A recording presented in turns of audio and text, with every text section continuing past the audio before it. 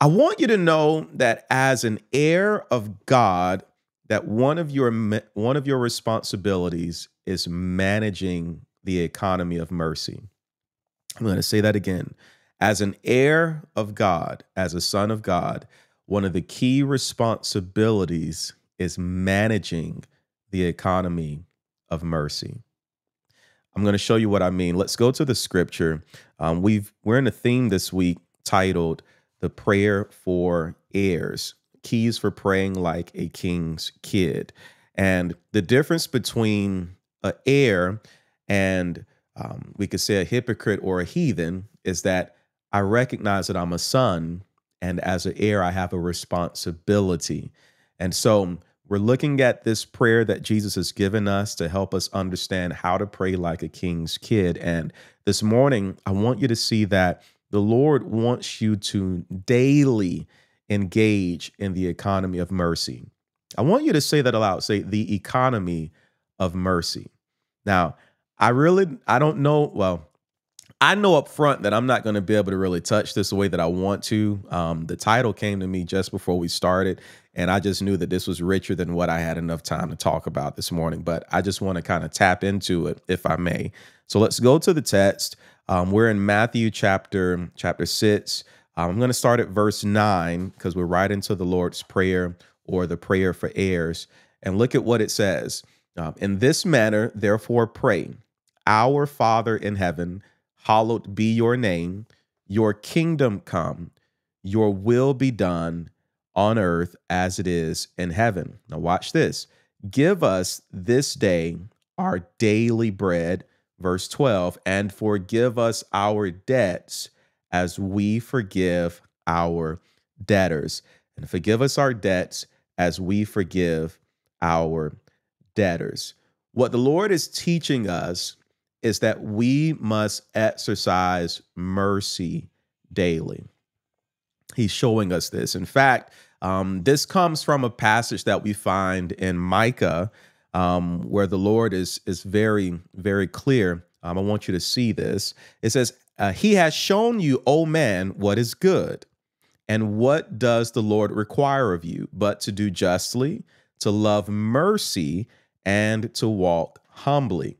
So, this is what God requires of us. He requires us to live um, in mercy, to exercise mercy.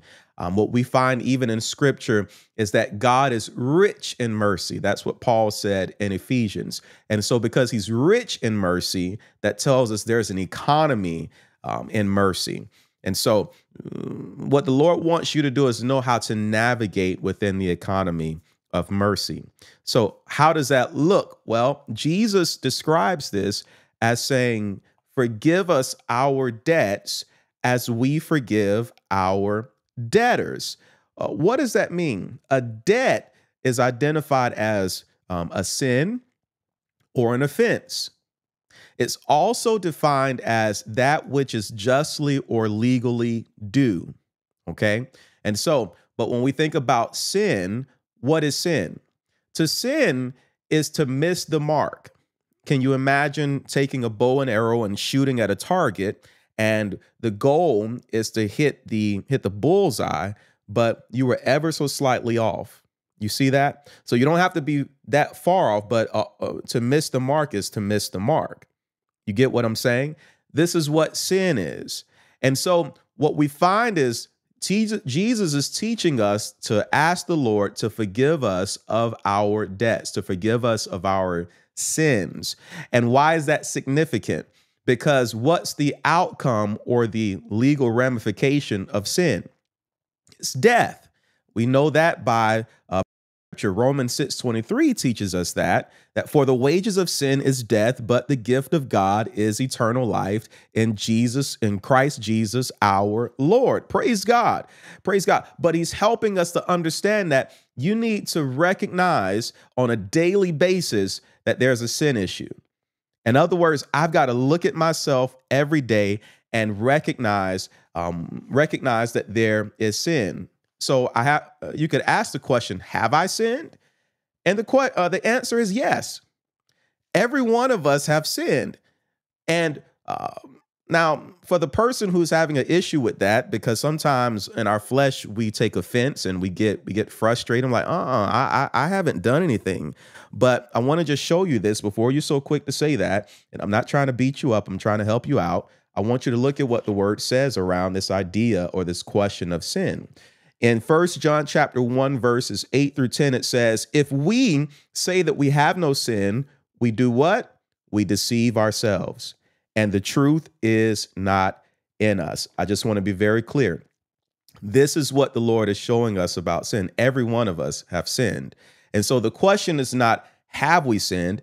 Uh, the truth is every one of us, we could say daily, have missed the mark some way in some form. So, what I must do is I must go to the Lord and request or seek out the mercy of God. Let me show you what that looks like. Verse 9 If we confess our sins, he is faithful and just. What does the Lord require of us? To do justice, to love mercy. Here goes justice and mercy all in the same thing. Uh, he is just to forgive us our sin and cleanse us from all unrighteousness. You see that? Yeah. So if we confess it, if we seek out the mercy of God by confessing to Him to our, our sins, He'll forgive us of our debt. Now, I know I've said a whole lot, but I, I'm praying that you can see this clearly. If you're with me, say amen. now, we're going to pray in a moment, but I just want to show you one more thing. It's important to know this because if you're still struggling with that whole sin issue, I want you to look at the danger of this. Verse 10 If we say that we have not sinned, we make him a liar. Who's that? That's God. And his word is not in us. So if you're having a, having a problem with that, I want to just encourage you to to really take the time to to allow the Lord to to minister to you, to allow the word to minister to you. The fact is, all of us, I stand at the front of the line to say that I'm in desperate need of the mercy of God. Um, every day, I'm going to miss the mark in one way or another. And so, what the Lord is teaching us, again, is the economy of mercy. You see, if we confess our sins, he is faithful and he's just to forgive us our sin and to cleanse us of all unrighteousness. But the economy doesn't stop there. I want to I want to make note of that because oftentimes we want forgiveness, but the truth is we must also forgive others. Let's go back to the, the prayer for heirs. The Bible says, and forgive us our debts as we forgive our debtors, as we forgive our debtors. Can you see the flow of mercy? How this economy just keeps moving because here it is, we're being forgiven, we're experiencing the mercy of God, and we're expressing that mercy to others. You see how that moves? But what happens when money starts moving inside of an economy? Yeah, it crashes. Uh, things don't don't work right. Uh, there's there's a lot of chaos in an economy when there's no flow.